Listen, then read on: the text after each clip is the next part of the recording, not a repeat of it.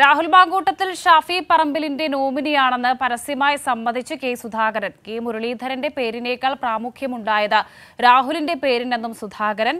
വിവരങ്ങളുമായി വിജിൻ വായാന്തോട് ചേരുന്നുണ്ട്. വിജിൻ നോക്കൂ കോൺഗ്രസിനുള്ളിലെ ഒരു അതൃപ്തി അത് കെ സുധാകരൻ പറയാതെ പറയുന്നുണ്ട്. അവിടെ കോൺഗ്രസിനുള്ളിൽ പ്രവർത്തിക്കുന്നുണ്ട് ഒരു വി ഡി സതീശൻ ഷാഫി പറമ്പിൽ പ്രത്യേക പാക്കേജ് അല്ലേ? തീർച്ചയായും വർഷ അങ്ങനെ തന്നെയാണ്. ഈ രാഹുൽ മാങ്കൂട്ടത്തലിന്റെ സ്ഥാനാർത്ഥിത്വവുമായി ബന്ധപ്പെട്ട് നേരത്തെ പ്രതിപക്ഷ നേതാവും അതുപോലെ തന്നെ ഷാഫി പറമ്പിലും ഒക്കെ പറഞ്ഞത് പൂർണമായും ബി സി സിയുടെയും അതുപോലെ തന്നെ കോൺഗ്രസിന്റെയും പൂർണ പിന്തുണയിലാണ് രാഹുൽ മാങ്കൂട്ടത്തിൽ സ്ഥാനാർത്ഥിയായി വന്നത് എന്നാണ്. എന്നാൽ കഴിഞ്ഞ ദിവസം കൈർലി ന്യൂസ് തന്നെ പുറത്തുവിട്ട ബി സി സിയുടെ കത്ത് ഇവിടെ പുറത്തു വന്നതോടുകൂടി ഇതിൽ കൂടുതൽ അഭിപ്രായങ്ങളും ഇതിനകത്തെ അഭിപ്രായ വ്യത്യാസവും ഒക്കെ പുറത്തു വരികയാണ്. ഇപ്പോൾ സുധാകരൻ തന്നെ അക്കാര്യത്തിൽ തുറന്ന് സമ്മതിക്കുകയും ചെയ്തിരിക്കുന്നു എന്നുള്ളതാണ് ഏറ്റവും പ്രധാനപ്പെട്ട കാര്യം. ഷാഫി പറമ്പിൽ ആണ് രാഹുൽ മാങ്കൂട്ടത്തിന്റെ പേര് നിർദ്ദേശിച്ചത്. ഷാഫി പറമ്പിലിന്റെ നോമിനിയായി ആണ് രാഹുൽ മാങ്കൂട്ടത്തിൽ സ്ഥാനാർത്ഥിയായി വന്നിരിക്കുന്നത് എന്നാണ് കെ സുധാകരൻ പരസ്യമായി നിലവിൽ സമ്മതിക്കുന്നത്. കെ മുരളീധരൻ ഉൾപ്പെടെയുള്ള വിവിധ ആളുകളുടെ പേരുകൾ ചർച്ച ചെയ്തിരുന്നു. അതിൽ പ്രാമുഖ്യമുണ്ടായത് രാഹുൽ മാങ്കൂട്ടത്തിനാണ് എന്ന കാര്യവും കെ സുധാകരൻ വ്യക്തമാക്കുകയാണ്. അതിനർത്ഥം പ്രതിപക്ഷ നേതാവും അതുപോലെ തന്നെ ഷാഫി പറമ്പിലിന്റെയും സമ്മർദ്ദം രാഹുൽ മാങ്കൂട്ടത്തിനായി നടന്നു.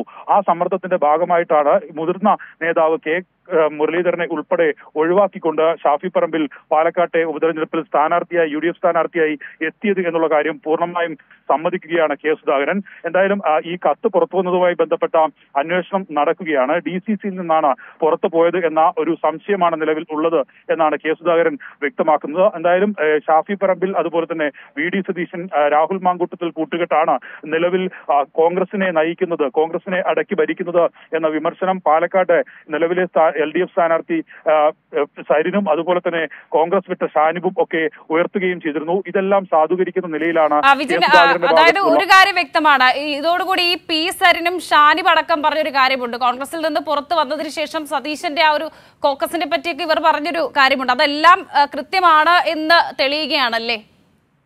തീർച്ചയായും അത് തന്നെയാണ്. അതിനുള്ള അമർഷം കെ സുധാകരനും മുരളീധരനും ഉൾപ്പെടെയുള്ളവർ മുതിർന്ന നേതാക്കൾ തന്നെ പ്രകടിപ്പിച്ചിരുന്നു. നേരത്തെ വി ഡി സതീശന് പറഞ്ഞ കാര്യങ്ങൾ തിരുത്തി പറയുകയും ഒക്കെ ചെയ്തിരുന്നു. വി ഡി സതീശിനെതിരായ പരസ്യമായ പ്രസ്താവന ഒരു ചാനലിൽ തന്നെ സുധാകരൻ നടത്തുകയും ചെയ്തിരുന്നു.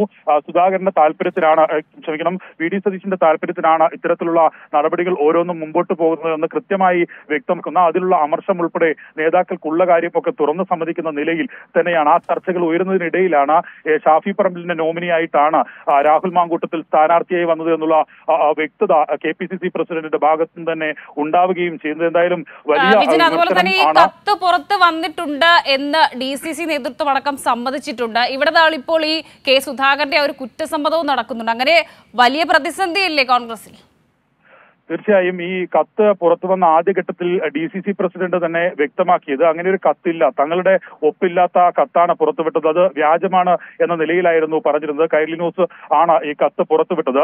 അതിനുശേഷമാണ് ഈ ഒപ്പിട്ട കത്തിന്റെ പകർപ്പ് കൂടി കൈരളി ന്യൂസ് പുറത്തുവിട്ടത്. ഇതോടുകൂടിയാണ് ഇത്തരത്തിൽ ഡി സി സിക്ക് പോലും സമ്മതമല്ലാത്ത നിലയിലാണ് വി ഡി സതീശിന്റെയും അതുപോലെ തന്നെ ഷാഫി പറമ്പിന്റെയും താല്പര്യപ്രകാരം രാഹുൽ മാങ്കുട്ടത്തിൽ സ്ഥാനാർത്ഥിയായി എത്തിയത് എന്നുള്ള കാര്യം വ്യക്തമാക്കുന്നതാണ്. കാരണം ഡി സി സി ഏറ്റവും പ്രധാനമായും ആ കത്തിൽ തന്നെ പറയുന്നത് ബി ജെ പി ഒരു മുഖ്യ എതിരാളിയായിട്ടുള്ള സ്ഥലമാണ്. ഏറ്റവും പ്രധാനപ്പെട്ട ഒരു തെരഞ്ഞെടുപ്പ് കൂടിയാണ്. അതിൽ ഒരു കെ മുരളീധരനെ തന്നെ സ്ഥാനാർത്ഥിയായി കൊണ്ടുവരണം എന്നുള്ളതാണ് ഡി സി സി തന്നെ എ സി സിയുടെ ആവശ്യപ്പെട്ടത്. എന്നാൽ ആ ആവശ്യം പോലും നിരാകരിച്ചുകൊണ്ടാണ് നിലവിൽ രാഹുൽ മാങ്കൂട്ടത്തിന്റെ പേരിലേക്ക് എത്തുന്നത് എന്നുള്ളതാണ് കാണേണ്ടത്. മുതിർന്ന നേതാവാണ് കെ മുരളീധരൻ. അങ്ങനെ കൈരളി ന്യൂസ് പുറത്തുവിട്ട വാർത്ത ഏറെ രാഷ്ട്രീയ ചർച്ചകൾക്ക് വിധേയമായിട്ടുണ്ട്. അതിലായിരുന്നു ഇപ്പോൾ അതിലാണ് ഇപ്പോൾ കെ സുധാകരന്റെ ആ ഒരു പ്രതികരണം.